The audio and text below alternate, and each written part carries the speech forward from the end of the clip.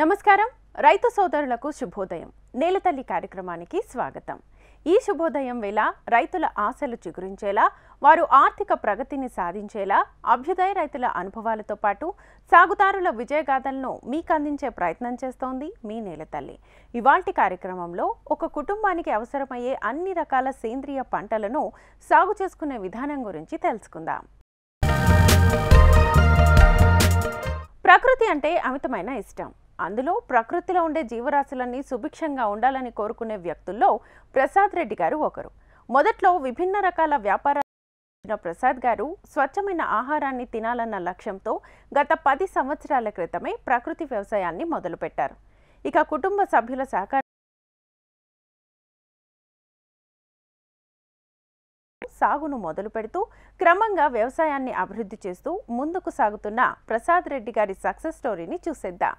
హైదరాబాద్ నగరానికి సమీపంలో ఉన్న మేడ్చల్ జిల్లా మూడుచింతలపల్లి మండలం ఉద్దెమర్రి గ్రామంలో విభిన్న రకాల పండ్ల మొక్కలు కూరగాయలను ప్రకృతి వ్యవసాయ రైతు ప్రసాద్ రెడ్డి గారు సాగు చేస్తున్నారు.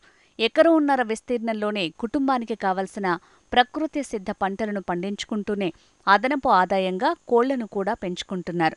మరోపక్క గో నిలయాన్ని ఏర్పాటు చేసుకుని ఆవులను సంరక్షిస్తూ వాటి ద్వారా పాల ఉత్పత్తులు ప్రకృతి ఎరువులను తయారు చేసుకుంటూ వ్యవసాయంలో రాణిస్తున్నారు. సాధారణంగా ఆవులను పెంచే క్రమంలో ఓపెన్ ప్లేస్లో ఆవులను కట్టేసి సాకుతారు. కానీ ఇక్కడ ప్రత్యేకంగా ఒక గదిని ఏర్పాటు చేసి దానికి సంబంధించి ఒక గోనిలయాన్ని ఏర్పాటు చేశారు. ప్రసాద్ రెడ్డి గారు. ఈ దీనికి సంబంధించి అంటే ఏ విధంగా సెటప్ చేశారు? ఇది దీని ప్రత్యేకత ఏంటో ఒకసారి తెలుసుకుందాం.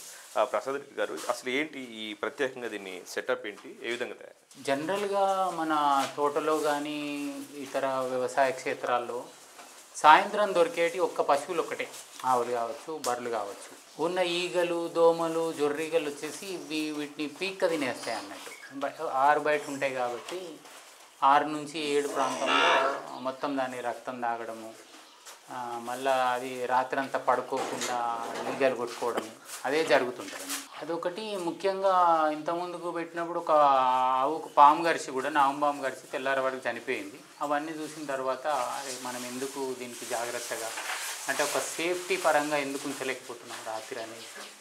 ఇలా కట్టుకోవడం జరిగింది. ఈ వర్షాకాలం చూసినట్టయితే పైనుంచి వర్షం పడుతుంది.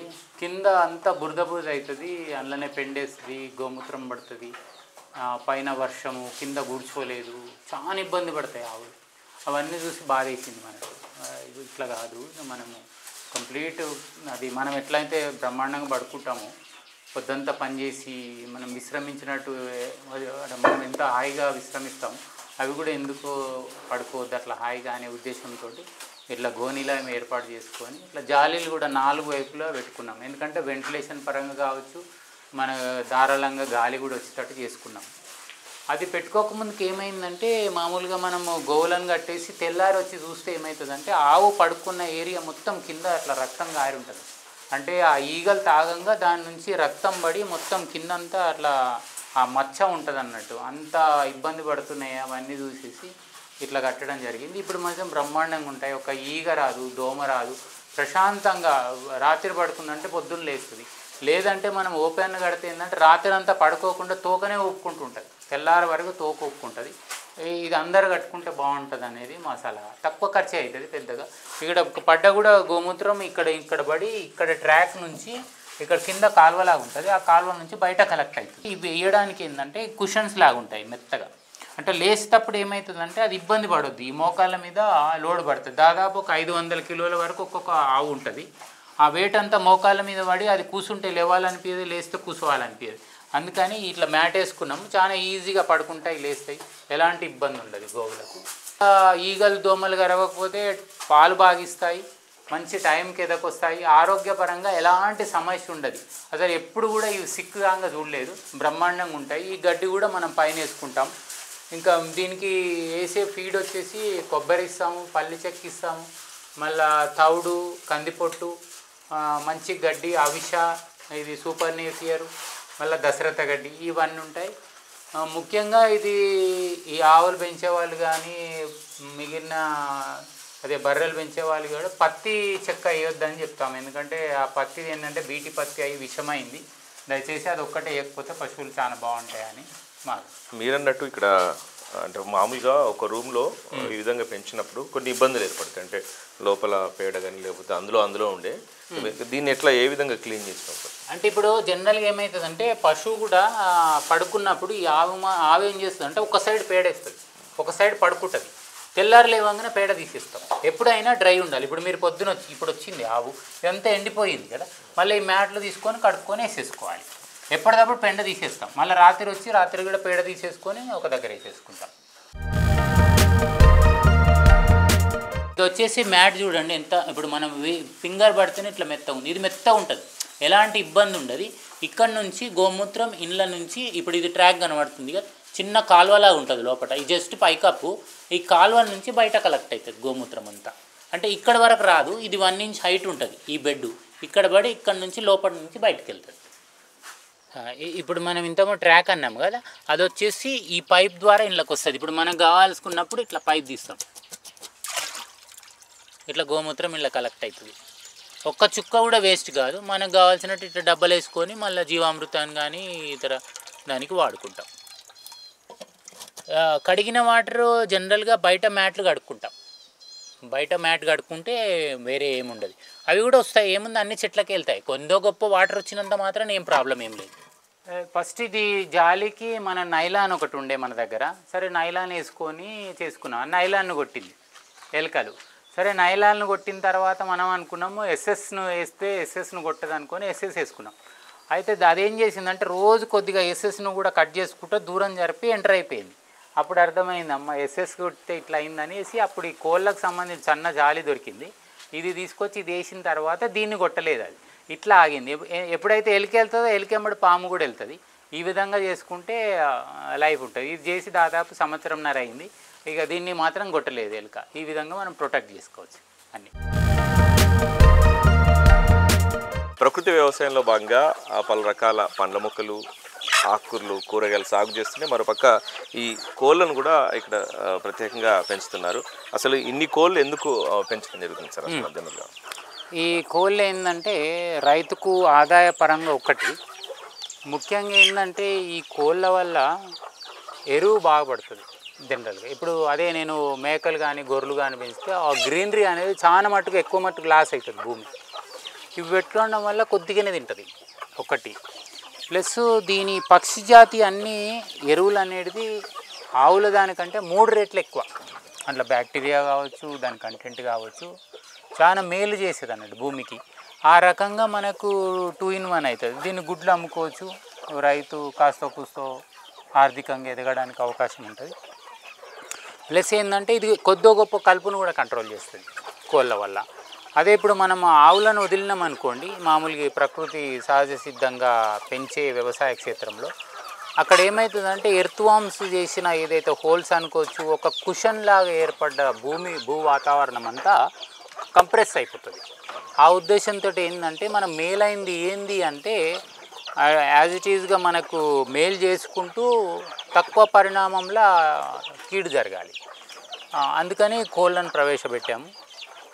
ఈ కోళ్ళ వల్లనైతే మనకు ప్రొడక్షన్ వైజ్ కూడా చాలా ఇంప్రూవ్మెంట్ కనబడుతుంది. అంటే మామూలుగా పండ్లది కానీ కాయల ఉత్పత్తి కానీ బాగా అంటే వీటి వల్ల ఏదైతే చిన్న చిన్న చీడపీడలు కానీ లేకపోతే ఆకులు వీటికి సంబంధించి అంటే ఎరువు ఇవన్నీ సమకూరుస్తాయన్న ఉద్దేశం. సమకూరుస్తాయి. ఒకటి ఏంటంటే ఈ కోళ్ళు కూడా మనం ఈ దాన ఖర్చుకు దాన కంటే ఎక్కువ అన్ని రకాల కలుపులు అనుకోవచ్చు మళ్ళీ తులసిలు తింటాయి మళ్ళా శంకు పుష్పం అన్ని మళ్ళీ గరక అనేక రకమైన ఆకులు తిని అంటే వీటి ఆరోగ్యం కూడా అసలు ఎలాంటి మెడిసిన్ ఇవ్వకుండా బ్రహ్మాండంగా పెరుగుతాయి. వీటికి మనం కొబ్బరి చెక్క వేస్తాము మళ్ళీ పల్లి చెక్క వేస్తాము మళ్ళా మక్కలు కానీ మినుములు కొన్ని కొర్రలు ఇట్లా అన్ని రకాలు వేస్తాము. దానివల్ల మన గుడ్డు క్వాలిటీ కూడా చాలా బాగుంటుంది. అట్లా అన్నట్టు ఎట్లా డిమాండ్ ఎట్లా ఉందండి? డిమాండ్ బాగుందండి. మేమైతే ఇప్పుడు ఇరవై ఐదు రూపాయలకు ఒకటి ఇస్తున్నాము డిమాండ్ బాగుంది. మాది ఏంటంటే మీరు మటన్ చికెన్ మానేసి రోజు ఒక గుడ్డు ఇట్లాంటిది తింటే సరిపోతుంది. మీకు కావాల్సిన మాంసకృతులు కానీ పోషకాలు కానీ కంప్లీట్ ఆ గుడ్డులో మీకు సరిపోతుంది. ఎందుకంటే వీటికి ఇచ్చే దాన కూడా దాని. వల్ల అంటే ఓపెన్ గ్రేజింగ్ కాబట్టి ఎక్కువ అన్ని రకాల కలుపులు తింటాయి. మన అన్ని రకాల గడ్డులు కానీ తులసిలు కానీ ఈ వల్ల చాలా పౌష్టికాహారం గుడ్డు అనుకోవచ్చు మనం. అంటే ఒక మంచి ఆదాయ వనరు. అవును. దాంతోపాటు ఈ మన పంటల సాగులో భాగంగా ఎరువు. ఎరువులకు ఎరువు. ముఖ్యంగా. ఎరువులు కొద్దిగా కలుపు కంట్రోల్ చేసుకోవడం అట్లా అన్ని విధాలా బాగుంటాయి కోళ్ళు. ఇంటిగ్రేటెడ్ ఫార్మింగ్ మనకు. అట్లా. పొద్దంతా మామూలుగా ఆరు ఏడు గంటలకు అంతా తిరుగుతాయి. తోట అంతా తిరుగుతాయి. ఎక్కడెక్కడ ఉందో తిరుక్కుంటా ప్రతి చెట్టు దగ్గర తవ్వుకుంటా కొద్దిగా అక్కడ ఎరువు పడుతుంది. అట్లా తిరిగిన తర్వాత నాలుగు నుంచి స్టార్ట్ అవుతాయి లోపలికి వెళ్ళడానికి. అప్పుడు మనం కొన్ని ఏం చేస్తామంటే గింజలు ఇందులో వేసేస్తాం. ఇదే మనం సింపుల్గా మనకు జాలి మిగిలింది కాంపౌండ్ వాళ్ళు వేసేదానికి మిగిలింది కొన్ని కడీలు వేసేసుకొని ఇట్లా సింపుల్గా రేకులు మిగిలితే ఇట్లా వేసేసి చేసుకున్నాం తక్కువ ఖర్చులా. ఇంత ముందుకు చూసిందేమో అది ఆర్థికంగా ప్లస్ ఆరోగ్యపరంగా ఒక రైతు ఎట్లా సస్టైన్ కావాలో అక్కడ చూసాం. ఇది వచ్చేసి ఒక కుటుంబానికి సరిపడా పండ్లు కానీ కూరగాయలు కావాలి ఆ, విధంగా ఇది మనం డిజైన్ చేసుకున్నాం. ముఖ్యంగా ఇక్కడ కూడా ఏంటంటే లేబర్ ఉండరు. లేబర్ లేకుండా దున్నకుండా మనకు కావాల్సింది అంటే బ్రహ్మాండమైన పంట అన్ని పోషక విలువలతో కూడిన పండ్లు కానీ కూరగాయలు ఎలా తీసుకోవాలనేది ఇక్కడ మనం చూద్దాం. ముఖ్యంగా ఇది వచ్చేసి మనకు లక్ష్మణ ఫలము ఈ చెరుకు రసము అది వచ్చేసి స్టార్ ఫ్రూట్ అక్కడ ఉంది కదా అది వచ్చేసి స్టార్ ఫ్రూట్ ప్లాంట్. ఇది వచ్చేసి దీనికి ఎరువు. సపోజ్ ఇది మనం మనం అవి అదంతా మునిగా అదేంటంటే ఎరువు సంబంధించింది. కట్ చేసి ఎక్కడిదక్కడ వేస్తాం. ఇప్పుడు ఈ తుంగ వేసాం కదా ఇది మునిగా ఇది వేసినాము ఇది డైలీ డీకంపోస్ట్ అయ్యి దీనికి కావాల్సింది ఏదైతే ఆహారం ఎరువు రూపంలో ఇది డైలీ అందుతుంది. మాకు తెలిసి దాదాపు ఒక సంవత్సరం పాటు ఈ ఎరువు దీనికి అందిస్తుంది అంటే డైలీ కావాల్సింది. సపోజ్ ఇది మనం బియ్యం అనుకుందాం. ఈ ఈ బియ్యాన్ని అన్నంగా మార్చే క్రియ ఎర్త్వామ్ చేస్తాయి బ్యాక్టీరియా చేస్తుంది. కింద బ్యాక్టీరియా తినుకుంటా డైలీ కావాల్సింది ఇస్తుంటుంది. అదే సపోజ్ మనము ఒక ఐదారు తట్టల మాగిన పేడ వేసామనుకోండి కొద్ది పర్సెంట్ మాత్రమే దీనికి వెళ్తుంది మిగిలినదంతా గాలిలో కలిసిపోవడము వృధా అవుతుంది ఇది అట్లా కాదు. దాదాపు హండ్రెడ్ పర్సెంట్ ఈ ప్లాంట్కి వెళ్తుంది అన్నట్టు.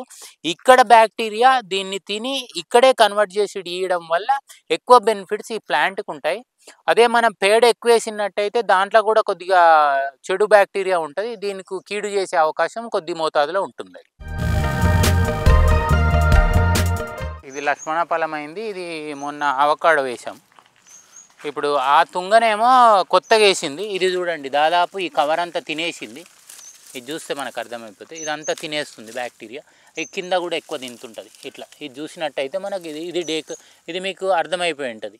ఎంత కంపోస్ట్ అవుతుందని దాదాపు ఇది ఒక సిక్స్ మంత్స్ నుంచి ఇట్లా తింటుంది అన్నట్టు ఈ ఇదంతా నేల గుల్లబారి ఉంటుంది. ఇది చూడండి ఇది మామూలుగా ఇది మనది రెడ్ సాయిలో ఇట్లా బ్లాక్ అయిపోతుంటుంది. అంటే డైలీ కావాల్సిన క్రియ ఇట్లా బ్యాక్టీరియా ద్వారా అవుతుంటుంది మన మీద చూస్తే తెలియదు కింది నుంచి తినుకుంటూ వస్తుంది అన్నట్టు ఇట్లా.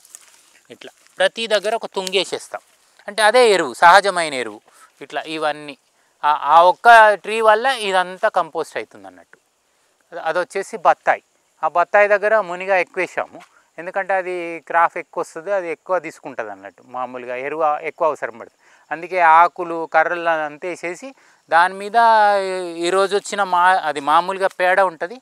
దాన్ని నీళ్ళలో కలిపేసి జస్ట్ దాని మీద చల్లేస్తాము. తొందరగా అది కంపోస్ట్ ఎక్కువ స్పీడ్గా అయిపోతుంది అన్నట్టు అది. ఇది నోనీ ఫ్రూట్ది ఏంటంటే దీనిది ఇయర్ వైజ్గా ఎప్పుడు కాతుంటుంది. మీ మీద చూస్తే ఫ్లవరింగ్ ఉంటుంది ఈ మధ్య స్టేజ్లో ఒకటి ఉంటుంది ఇది పండు దశలో ఒకటి ఉంటుంది. ఇది దాదాపు అయినట్టు. మామూలుగా ఇది డైరెక్ట్ తినలేము. ఇది మనం ఏం చేసుకోవాలంటే మామూలుగా ఒక నిమ్మకాయ తీసుకోవాలి కొద్దిగా బెల్లము ఇది డైరెక్ట్ పండిన తెంపిన తర్వాత రెండు రోజుల తర్వాత మాగుతుంది. దీన్ని మిక్సీ పట్టుకొని ఒక నిమ్మకాయ ప్లస్ బెల్లం వేసి రెండు గ్లాసులు నీళ్ళు పోసుకొని జ్యూస్ చేసుకొని తాగొచ్చు. బాగుంటుంది. మామూలుగా దీని జ్యూస్ వెయ్యి రూపాయలు అట్లా అమ్ముతారు. దానికంటే ఈ చెట్టు పెట్టుకొని ఇట్లా డైరెక్ట్ తీసుకోవడం వల్ల ఎక్కువ మేలు ఉంటుంది అన్నట్టు. ఎక్కువ మేలు జరిగే అవకాశం ఉంటుంది హెల్త్ వైజ్గా ఇమ్యూనిటీ బూస్టర్ అని అంటారు. ఇది క్యాన్సర్ కూడా రాకుండా చూస్తుందని అంటారు ఇది. మామూలు ఇదేమో దసేరి ప్లాంట్ మామిడి. ఇప్పుడు ఇదన్నీ అల్లనేరండి అండి. ఈసారి బాగా వచ్చింది క్రాప్. టోటల్ పెద్దగా అయిపోయి ఎయిట్ ఇయర్స్ తర్వాత అల్లనేరేడు వస్తుంది జనరల్గా. కొంతమంది ఏంటంటే వన్ ఇయర్కి వస్తుంది అంటారు కానీ అట్లా రావు. ఇప్పుడు వచ్చేటి ఏమన్నా చెప్పలేం కానీ మాకు మాత్రం ఎనిమిది సంవత్సరాల తర్వాత వచ్చింది. ఇది వచ్చేసి రూబీ పింక్ పాంగ్ అని ఇది లోగన్ జాతి చెందింది. ఇది కొత్తగా పెట్టిన ప్లాంట్ ఇది. ఈ ప్లాంట్ వచ్చేసి పన్నెండు వందల రూపాయలు. అయితే దీనికి రెండేసాను ఎందుకంటే నాకు ఇది ఇష్టము. ఈ ఫ్రూట్ బాగుంటుంది. త్వరగా పెరగాలని ఇక్కడో మొద్దు ఇక్కడో మొద్దేశాను చూద్దాం ఎన్ని రోజులు వస్తుంది. దాదాపు టూ ఇయర్స్లో మళ్ళీ మనకు ఈల్డింగ్ వచ్చే అవకాశం ఉంటుంది ఇది. ఇది దాదాపు ఒక వన్ ఇయర్ ప్లాంట్ ఇది. ఇది అంటుకట్టిన మొక్కనే. కొత్త ప్లాంట్ ఇది. లోగన్ చెందింది. ఇది వచ్చేసి ఇక మళ్ళా ఇది ఒక పనస. ఇది సపోటా మామూలు సపోటా పాల సపోటా. ఇవన్నీ డిజైన్ చేంజ్ చేసుకుంటాం అన్నట్టు. అంటే ఎక్కువ ప్లాంట్లు ఉంటే ఏం చేస్తామంటే తీసేసి మళ్ళీ కొత్త ప్లాంట్ మనకు కావాల్సిన డిఫరెంట్ వెరైటీస్ తెచ్చుకుంటాం. ఇది ఆవకాడో ఇప్పుడు ఈ ఆవకాడో దగ్గర మీకు మునిగా చూస్తున్నారు కదా. ఎండాకాలం ఏం చేస్తామంటే దీన్ని గొడుగుగా వాడతాము. అంటే ఇది ఎండకు తట్టుకోదు కాబట్టి కొద్దిగా పెంచేసి దీన్ని డాన్సింగ్ సైడ్ ఉంచుతాం ఇట్లా. ఎండాకాలం తర్వాత తిరిగి కట్ చేసేసి ఇక్కడ వరకు కట్ చేసి ఎరువు వేసేస్తాం అన్నట్టు. టూ ఇన్ వన్ పని చేస్తుంది. అప్పుడేమో నీడగా ఉంటుంది తర్వాత ఎరువు అయిపోతుంది. అన్నిటి దగ్గర ఇట్లా ఏదైతే షేడ్ కావాలో అక్కడ మునిగ పెట్టుకుంటాం. మునిగ ఏంటంటే వేరే దాన్ని ఎంకరేజ్ చేస్తుంది కానీ దీనివల్ల దానికి నష్టం అంటూ ఎక్కువే ఉండదు. ఇది రెడ్ పనస అని పెట్టుకున్నాము. పనసలో రెడ్ ఇది water apple red water apple. దీన్ని మనము ఇక్కడే ఈ మన ఫామ్లోనే తయారు చేసుకున్నాము. చిన్న మొక్క ఇంత తీసుకొని ఇంత వన్ ఇంచ్ వరకు ఈ స్కిన్ తీసేసి ఇక్కడ మట్టి పెట్టేసి కొద్దిగా ఎరువు పెట్టి టైట్ ప్యాక్ చేస్తే ఒక త్రీ మంత్స్ తర్వాత ఏర్లు వస్తాయి. దీన్ని తీసేసి నీడల తొట్టిలో పెట్టుకోవాలి. కనీసం ఒక వన్ మంత్ పెట్టుకున్న తర్వాత దీన్ని నాటుకుంటే ఇక ఈ విధంగా అయింది. ఇట్లా చేసుకోవచ్చు. ఎయిర్ లేరింగ్ ద్వారా చేసుకుంటే చాలా బాగా గ్రోత్ ఉంటుంది. ఇది ఒక ఫైవ్ ఇయర్స్ మొక్క. ఈ మొక్క వచ్చేసి స్వీట్ లూయి. ఇప్పుడు ఇది కనబడుతుంది ఇంత పెద్దగా అవుతుంది. బ్లాక్ కలర్ ఉంటుంది. స్వీట్ లూయి బాగుంటుంది. టేస్ట్ బాగుంటుంది. ఎంత ఫ్లవరింగ్ ఉంది ఇది- ఇది కూడా చిన్న చిన్న కాయలు ఉన్నాయి. ఇది వచ్చేసి మెక్సికన్ బాదం. అంటే అదేమో మన ఇండియన్ బాదం. ఈ మెక్సికన్ బాదం ఏంటంటే కాయ అయిన తర్వాత పలుకుతుంది. చెట్టు మీదనే పలుకుతుంది. అట్లా మనం తీసుకొని తినొచ్చు ఇది. బాగానే ఉంది గ్రోత్ ఇది వన్ ఇయర్ అయింది కానీ స్పీడ్ గ్రోత్ ఉంది. బాదం సంబంధించింది ఇది. ఇది వెల్వెట్ యాపిల్ ఇది. వెల్వెట్ యాపిల్ అక్కడ పెద్దది ఉంది ఆల్రెడీ ఫ్రూటింగ్ వస్తుంది. ఒక ఒకటి చిన్న పెట్టినాం. వెల్వెట్ అంటే కొద్దిగా చాక్లెట్ కలర్లు ఉంటుంది బాగానే ఉంటుంది స్వీట్గా ఉంటుంది ప్లాంట్. ఇది వచ్చేసి డ్రాగన్. ఈ డ్రాగన్ ఏమో అవిష అవిషకెక్కించాము అవిషకి ఎక్కించాము. ఇవన్నీ ఈ డ్రాగన్ ఏర్లు. ఎక్కి బాగానే ఉంది. క్రాప్ కూడా బాగానే వస్తుంది. ఇది సెకండ్ క్రాప్ ఫస్ట్ క్రాప్ అయిపోయింది. ఇది సెకండ్ క్రాప్ ఇది వచ్చేసి ఇది కూడా అవిష. మా అబ్బాయి పెట్టిండు దీని ఆపోజిట్లో బాగుంటుంది. అవిష పెడితే అదే ఎక్కింది డ్రాగన్. చూడండి అవన్నీ ఏర్లు బ్లాక్ చేసుకుంది. ఇదేమో ఏకబిల్వం. అదే శివునికి శ్రేష్టమైంది ఏకబిల్వం. ఇదేమో సంపెంగ ఎల్లో సంపెంగ. రామ్ సీతాఫల్ ఇది ఇది కూడా క్యాన్సర్కి వాడతారు ఇది కూడా బాగానే ఉంటుంది ఫ్రూటు. అంత స్వీట్ ఉండదు కానీ హెల్త్ పరంగా చాలా బెనిఫిట్స్ ఉన్నాయి. అంటే అన్ని సీజన్లు వచ్చే పండ్లు తింటే ఆ సీజన్లో వచ్చే వ్యాధులను ఎదుర్కోవడానికి శక్తి వస్తుంది. అంటే మనకు రెసిస్టెన్స్ ఇంప్రూవ్ అవుతుంది అన్నట్టు. ఇవి వచ్చేసి శ్రీగంధము ఇవన్నీ పిట్టలేసినాయి.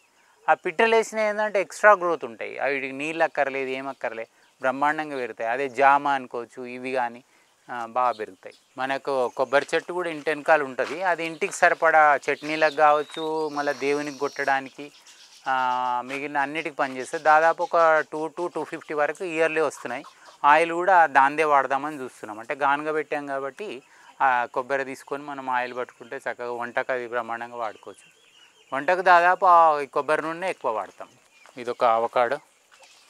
ఇది బచ్చల కూరల్లో ఇది వెడల్పు అంటే పెద్ద ఆకు వచ్చేది ఒక చిన్న ఆకు వచ్చేది కూడా ఉంటుంది. దీనికి మళ్ళీ గ్రేప్స్ కూడా ఉంటాయి. ఇది ఇది గ్రేప్స్ ప్లాంట్. జనరల్గా ఎండాకాలం ఎక్కువ వస్తాయి ఇప్పుడు కూడా ఉంది గ్రేప్స్. అంటే పాతకాలంది అంటే సీడ్ ఉన్నది మామూలుగా. ఇదేమో వాటర్ యాపిల్ రెడ్ వైట్. అంటే మన దగ్గర వైట్ ఉంది కంప్లీట్ రెడ్ ఉంది మళ్ళీ వైట్ రెడ్ ఉంటుంది ఇది. మిల్క్ ఫ్రూట్ అక్కడ పెట్టాము కదా. మిల్క్ ఫ్రూట్ దాని వెనుకనేమో kokum butter tree. Kokum butter fruit అనేది మనము మామూలుగా చింతపండు వాడతాం కదా మనం ఈ వీళ్ళు కేరళలో ఇది వాడతారు అన్నట్టు. కాకపోతే చింతపండు కంటే మోర్ వాల్యూస్ దీన్ని. ఆరోగ్యపరంగా కూడా. రోఅబ్జా దీంతో చేస్తారు ఈ ఫ్రూట్ తోటే చేస్తారు. సీజను ఎండాకాలం ఆ సీజన్లో వస్తుంది. అదేమో ఆ ఫ్రూటే. రూట్ అంటే పుల్లగా ఉంటుంది. పండ్ల మొక్కల సాగులో భాగంగా విభిన్న రకాల మొక్కలను ఎంపిక చేసుకున్నారు. ఇందులో దేశీయ పండ్ల రకాలతో పాటు మరికొన్ని అరుదుగా కనిపించే విదేశీ మొక్కలు కూడా సాగు చేస్తున్నారు. వీటికి కావలసిన ఎరువులను సహజంగా తయారు చేసుకుంటూ అతి తక్కువ ఖర్చుతోనే అటవీ విధానంలోనే సాగు చేస్తున్నామని ప్రకృతి వ్యవసాయ రైతు ప్రసాద్ రెడ్డి గారు అంటున్నారు. ప్రసాద్ రెడ్డి గారు చేస్తున్న ప్రకృతి వ్యవసాయానికి కుటుంబ సహకారం కూడా ఉంది.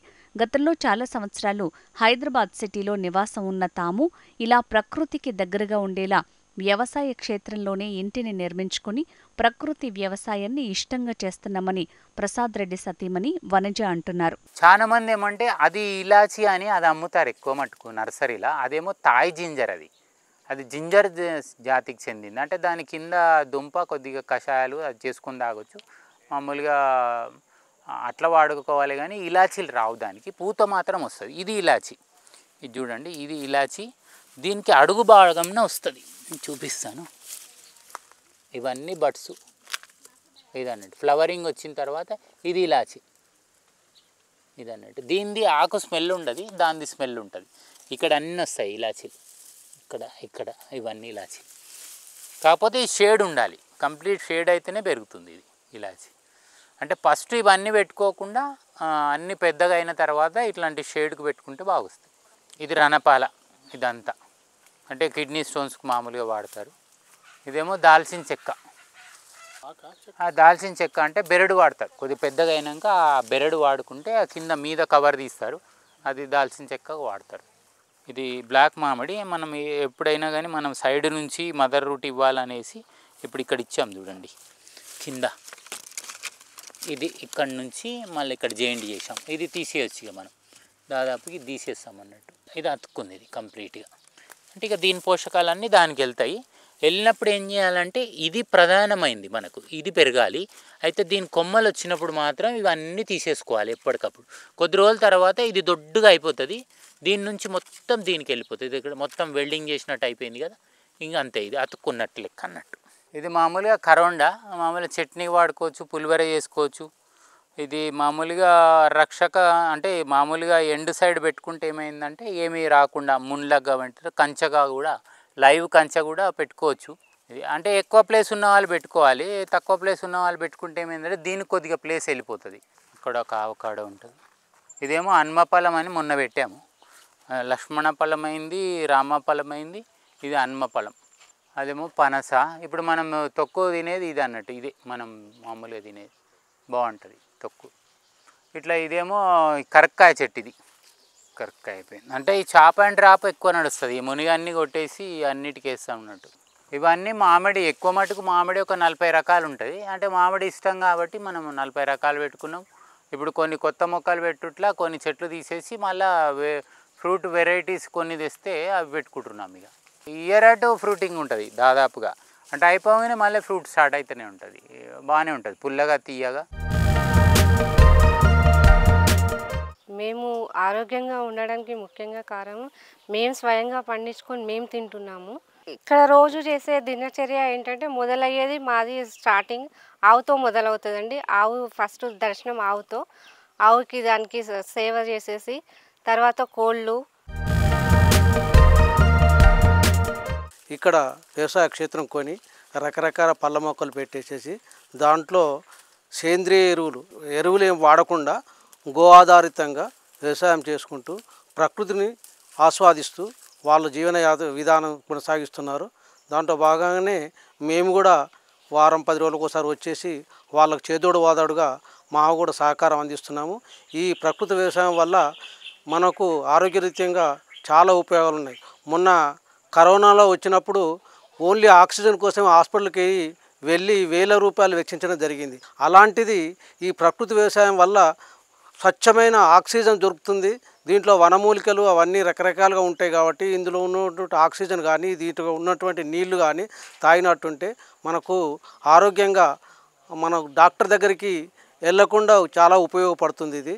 ఇట్లాంటిది ఇంకా ఇవి కుటుంబమే కాకుండా ఇలాంటిగా చాలామంది కూడా ఇలాంటి వ్యవసాయమే చేసుకున్నట్టుంటే భవిష్యత్తులో ఆ తరానికి జబ్బులు పడకుండా మనకు ప్రకృతి పరంగా ఇచ్చేటువంటి పళ్ళు పళ్ళు కూరగాయలతోటితే మనం జీవనోపాధి సాగించినట్టుంటే చాలా వరకు ఆరోగ్యంగా ఎక్కువ కాలం బతకడానికి అవకాశం ఉంటుంది. ఈరోజు ప్రసారమైన కార్యక్రమంతో పాటు సాగుదారులకు ఉపయోగపడే సేద్య సమాచారం వ్యవసాయ రైతుల అనుభవాల కోసం హెచ్ఎం టీవీ అగ్రి యూట్యూబ్ ఛానల్ని సబ్స్క్రైబ్ చేసుకోండి. ఇది ఇవాంటి నీళ్ళ తల్లి కార్యక్రమం. నమస్తే.